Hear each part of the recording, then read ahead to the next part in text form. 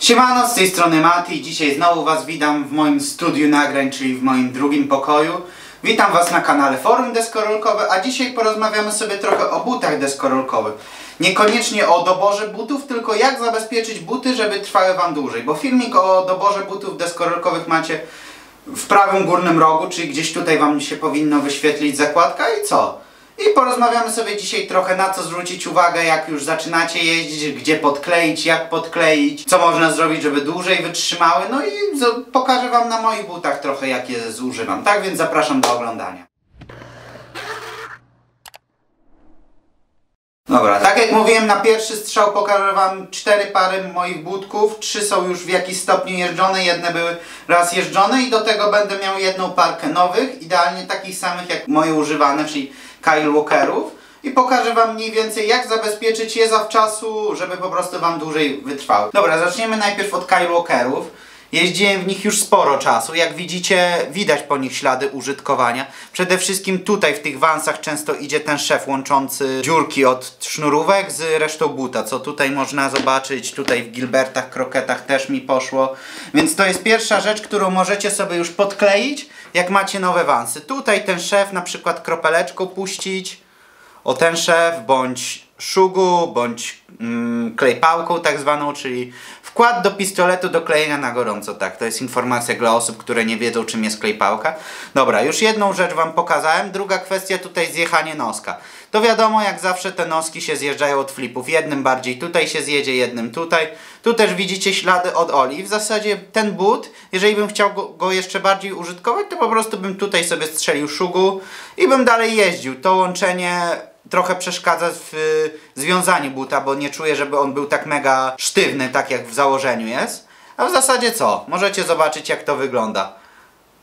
Po zamszu widać też miejsca, w którym ciągnę oli i pewnie prawdopodobne jest to, że jakbym dłużej w nich jeździł, to też w tych miejscach by mi powstawały dziury. Już jak mamy taki stan, też możemy sobie zabezpieczyć. Tutaj puścić szugu gdzieś mniej więcej taką plameczkę mniejszą, większą jak wolicie, czy klejpałki. Bo ten zamsz zaraz raz, dwa mi pójdzie tak jak tutaj na tym nosku. W zasadzie co, podeszwy nie ma co kleić, bo jest ok. Na Kyle Walkerze już Wam pokazałem. Teraz Gilberty krokety. Pokażę Wam obydwa buty, prawy i lewy, żebyście zobaczyli. I pierwsza klasyczna rzecz w Gilbertach, ten szef tutaj. On zawsze Wam puści. Po prostu konstrukcja tego buta jest taka, że ten szef zawsze Wam puści, więc zawsze możecie na start już puścić tutaj właśnie kropeleczkę, żeby on nie puścił tak Wam. Poza tym jeszcze jest druga warstwa pod zamszem taka, no zresztą widzicie jaka, no i ona zabezpiecza, więc nawet jak wam pójdzie coś takiego, to już nie ma, to jeszcze nie macie bezpośrednio kontaktu ze skarpetą, tylko jeszcze jest tutaj warstwa, więc taki stan też można podkleić, jakoś sobie go ścisnąć. Ja zawsze robię tak, że jak kleję buty, to staram się wrzucić właśnie w nie imadło, żeby zobaczyć jak ten but się trzyma, jak pi razy drzwi byłby na stopie. Bo co z tego, że skleimy, kiedy but nie jest na stopie, skoro włożę buta i on rozciągnie mi to wszystko i puści ten klej. Poza tym nosek mi się zjechał, ale jeszcze by trochę potrzymał, nie ma sensu go tutaj jeszcze podklejać, bo ja nie lubię kleić butów. Mamy dwie parki już za sobą. Kolejne janowskie. Janowskie w ogóle mega się na nich zawiodłem. Tutaj już podkleiłem taką dziurkę. Fakt faktem nie jestem mistrzem klejenia butów, ale miałem w ogóle dziurę po pierwszej jeździe, po drugiej jeździe coś takiego, więc tragiczny w ogóle rezultat, że miałem dziurę na wylot. Tutaj widać, w którym dokładnie miejscu była ta dziura, nie? I w zasadzie co? Tutaj ten nosek też idzie.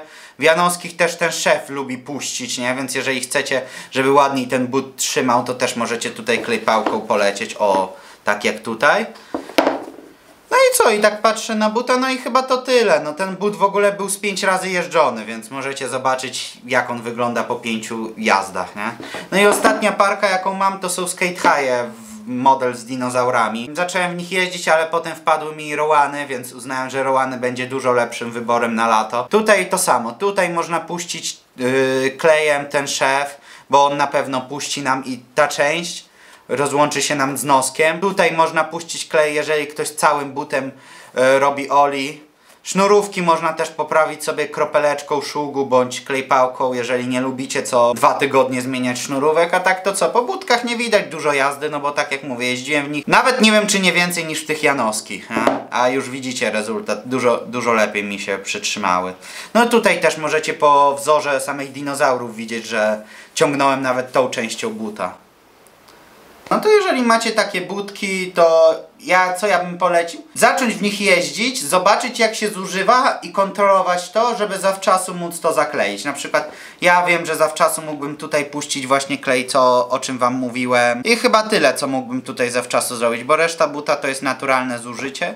I tak samo w takich budkach, jak zaczynacie jeździć, oczywiście możecie zanim zaczniecie jeździć puścić klej, szugu czy cokolwiek, ale ja bym odradzał, bo po prostu psuje to trochę komfort jazdy. K zwłaszcza klejpałka. Klejpałka jest strasznie sztywna i strasznie psuje ten board feeling, więc ja uważam, że w ogóle używanie klejpałki to ostateczność. Są ludzie, którzy teraz mnie obrzucą w komentarzach, że tylko klejpałka, no ale ja osobiście jak mam możliwość wolę wydać te 40 zł na szugu niż kupować klejpałkę za złotówkę i wkurzać się, że po pierwsze mi na gripie zostają ślady, po drugie grip się tępi przez tą klejpałkę, a po trzecie nie mam takiego czucia deski. Teraz pokażę Wam jak wygląda proces klejenia butów przeze mnie. Tak jak mówiłem, nie jestem fanem klejenia butów, ale czasami trzeba, żeby po prostu zwiększyć jego żywotność, gdy podeszwa jeszcze pozwala nam jeździć, a już góra nam się sypie.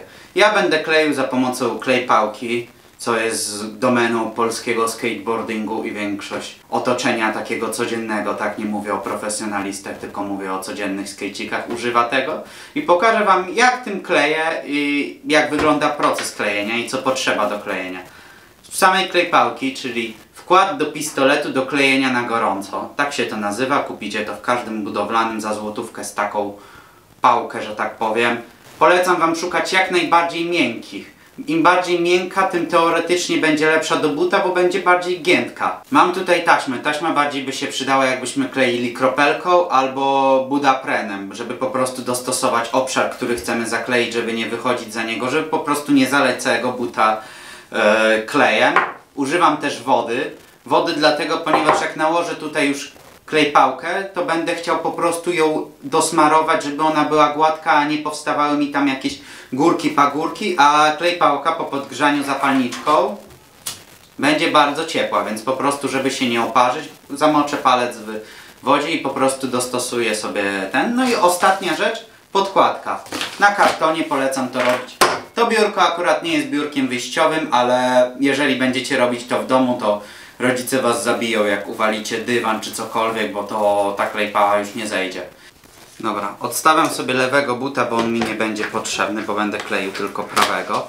Dobra, bierzemy zapalniczkę, polecam to robić tak jak już mówiłem nad kartonem, żeby wam nie skapnęło. Jeżeli macie pistolet do klejenia na gorąco, to możecie go użyć, będziecie bardziej dokładniejsi, ale jest to metoda, którą się stosuje na mieście, na parku, na stricie, gdziekolwiek. Podgrzewamy sobie klejpałkę, do takiego momentu, aż ona będzie nam niemalże skapywała. To zresztą będziecie widzieć, jak tutaj zobaczycie, że ona już jest niemalże płynna. No trochę śmierdzi, to fakt. Trzeba będzie uważać na to. Polecam to robić przy otwartym oknie, bądź po prostu na, na zewnątrz albo na podwórku. O, dobra, już widać, że ta klejpała mi zaczyna sypać się. Najpierw po prostu nakładam na miejsce, w którym chcę mieć ją delikatnie, żeby za dużo tego nie nawalić. Spoko. Uważam, że tyle. Sobie zamoczę tego palucha, żeby mieć